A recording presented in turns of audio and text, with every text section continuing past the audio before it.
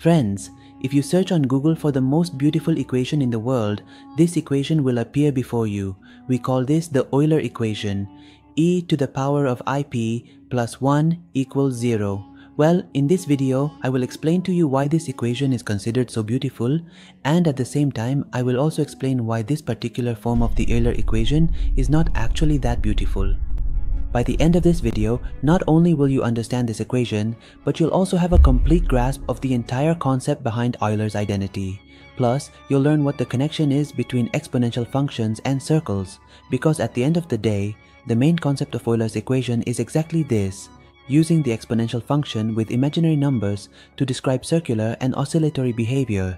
So, in the last video, I explained in detail about exponential functions and growing functions, if you take any growing function, like 2 to the power x, and take its derivative, the derivative is smaller than 2 to the power x. Similarly, if you take 3 to the power x, its derivative will be greater than the original function, as you can see in this graph. But the number e is the only number whose derivative is equal to the function itself. Whether you take its derivative once or a million times, the behavior of e to the power x doesn't change. Basically, it's an equilibrium point. And at the end of that video, I asked you a small question. If you multiply the exponential function by just one number, that is e to the power e theta, which is cos theta plus i sin theta, then by multiplying with an imaginary number, the function that was previously growing exponentially now becomes a circular or rotational function. So today, we'll explore in detail why the introduction of this imaginary number changes the entire behavior of the function. Well, before we move ahead in the video, if you haven't watched our video on exponential functions, go watch it first, the link is in the description box below. So, a to the power i pi plus 1 equals 0 is considered the most beautiful equation in the world. Why is it so famous and why does everyone consider it beautiful? Actually, the answer is that this equation contains 5 constants. a is one constant whose value is 2.718. The imaginary number i is also a constant. 1 and 0 are numbers, so they are also constants. So you can see that in just one equation, all these constants are together, which looks really cool, but actually, it's a very superficial way of looking at mathematics. This is only for those mathematicians who get happy just by looking at numbers. But here, I'm going to prove that this equation isn't all that special. This is just a special case of e to the power i theta equals cos theta plus i sin theta. Let's make a table to understand this where we'll plot e to the power i theta for different values of theta. So we'll set the value of theta to 0, then pi by 2, then pi, then 3 pi by 2, then 2 pi. So when we put that equal to 0, what is the power iota 0? Cosine 0 plus i sine 0. The value of sine 0 is 0 and the value of cosine 0 is 1. So in this case we get the answer 1. Now if we put theta equal to pi by 2, the value of cos pi by 2 is 0 and the value of sin pi by 2 is 1. So what answer do we get in this case? Iota that is i. Now look at the third case. Now if we put the value of theta as p, then e to the power iota pi equals cos p plus e sin pi. Now the value of cos p is minus 1 and the value of sin p is 0. So what will this simply become? e to the power iota pi equals minus 1. Now look at this carefully. If we take 1 to the left hand side, what will it become? 8 to the power iota, pi plus 1 equals 0 and this is what becomes the most beautiful equation in mathematics. So you can clearly see that e to the power iota pi plus 1, e to the power iota theta, where theta's value is pi, this is its special case. Similarly, when we put theta equal to 3 pi by 2, in this case, we get the answer minus i. And finally, when we put theta equal to 2 pi, then cos 2 pi plus i sin 2 pi, its value is 1. So now, if you plot all these values on a plane, you'll see that e to the power i theta is moving around in a circle. At angle 0, its value is 1. At 90 degrees, the value is i. At 180 degrees, the value is minus 1. At 270 degrees, it's minus i. And at 360 degrees, that is, at 2 pi, its value becomes 1 again. So basically, here the values are moving in a circular form. So this famous equation, that is Euler's equation, is just a special case when theta equals pi. If we put theta equal to pi by 2, then e to the power iota pi by 2 will be equal to i. There's nothing extraordinary about this. The real equation is, or rather the real beauty is, how? How does an exponential function, when multiplied by just an imaginary number, give us sin and cosine terms, and how are sin and cosine actually related to oscillatory and circular behavior? And ultimately why? Why does this equation, which has an exponential term, perform circular and rotational motion instead of growing exponentially? This is where the real beauty lies. So, let's try to understand this now. Whenever we encounter something that goes beyond our normal intuition, we have a basic principle to understand it. We break that thing down, divide it into small pieces, and then later combine all those pieces together. So we'll do something similar here as well. In mathematics, whenever we need to break something down, we take the help of our friend called the Taylor series expansion. Basically, we will apply this to e to the power x. So basically, the Taylor series expansion is a mathematical tool that breaks functions into small pieces and then adds all those small pieces together and then we get a complete understanding of that function. So basically, it's like a hammer and glue, where the hammer first breaks things apart and the glue puts them all back together. So remember, whenever we need to break down a function, we use the Taylor series expansion. By the way, we'll discuss the Taylor series in full detail in another video. Now here, look at e to the power x with the help of the Taylor series expansion. How can we write this? e to the power x equals the summation from n equals 0 to infinity of x to the power n divided by n factorial. Here n basically runs from 0 to infinity and the n factorial you see here, the meaning of factorial here is simply that you take any number and multiply it by all the numbers before it. For example, 3 factorial is 3 times 2 times 1 and 5 factorial is 5 times 4 times 3 times 2 times 1. So now let's look at this with an example. By the way, this example is also a special case. What will happen if we take x equal to 1? E to the power of 1 equals the summation from n equals 0 to infinity of x to the power n. So since our x is 1, it becomes 1 to the power n and 1 raised to any power is always 1. So it's 1 upon n factorial.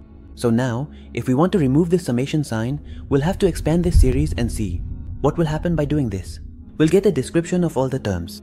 So let's expand it and write it out. So what will the first term be? 1 upon 0 factorial, 0 factorial is just 1. So 1 plus 1 upon 1 factorial, plus 1 upon 2 factorial, plus 1 upon 3 factorial, plus 1 upon 4 factorial, plus 1 upon 5 factorial and so on. Now we can also write the values of all these.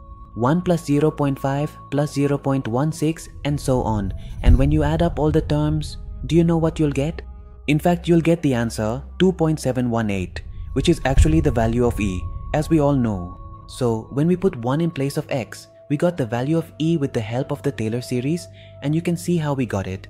Basically, we used the Taylor series expansion for this.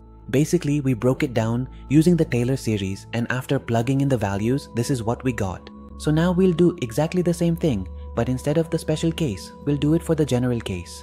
That is, what will happen if instead of e to the power of 1, we put e to the power of x? So you can simply expand this as well using the Taylor series.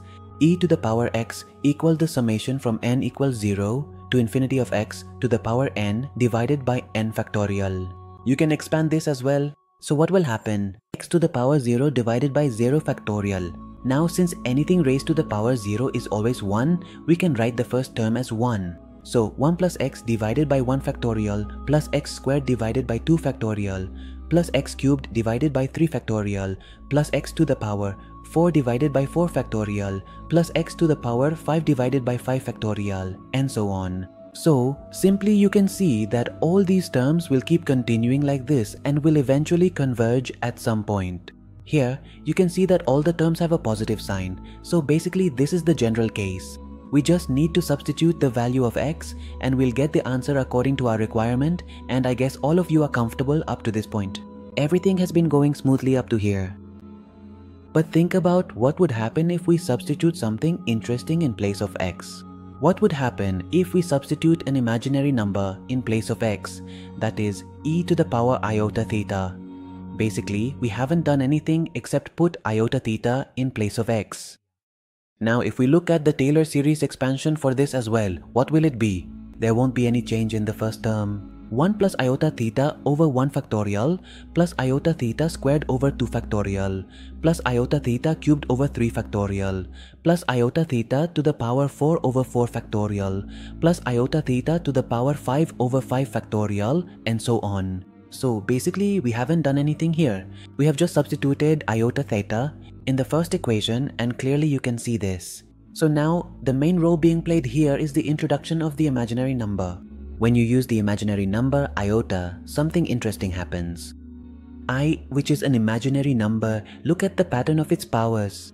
For simplicity, let's look at the values of i here. i to the power 1 is i. i squared equals minus 1. i cubed equals minus i. And i to the power of 4 equals 1. Now see, why is i squared equal to minus 1? Why is i cubed equal to minus i? So basically, this is a property of imaginary numbers. And I guess all of you already know how this works because by definition, i is the square root of minus 1. So when you square it, you get minus 1 and so on. Now, we will put all these values of iota into this series.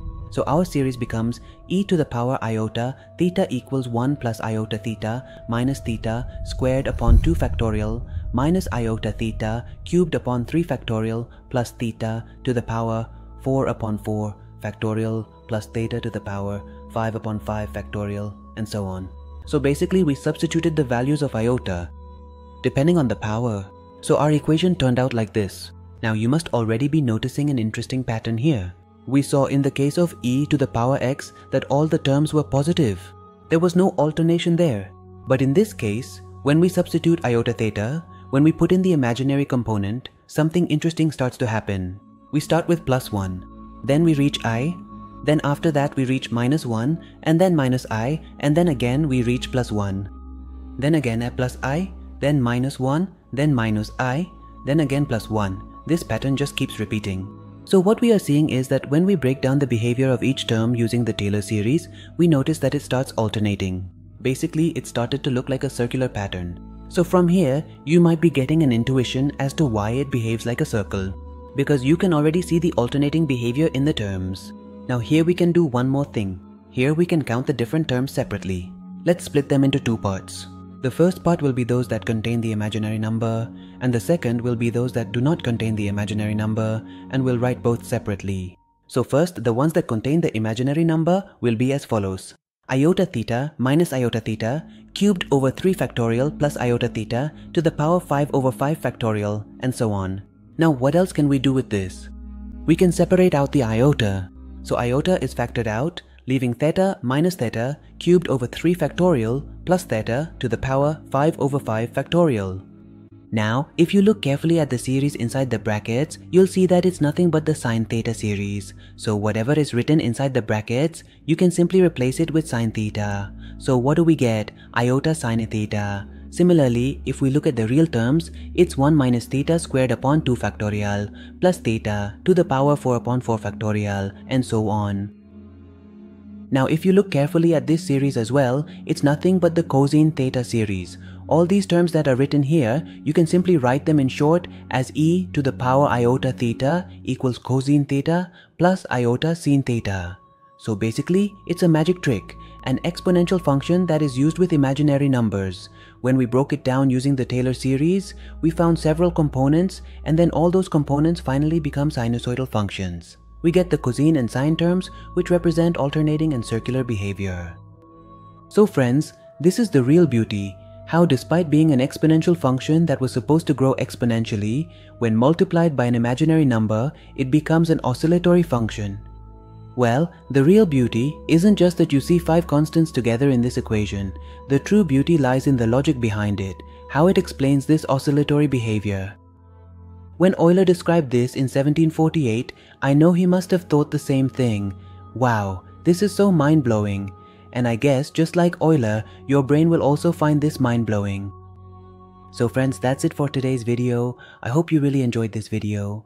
If that's the case, then please like this video, share it with your friends, and if you haven't subscribed to our channel yet, do subscribe so you don't miss any updates from our upcoming videos.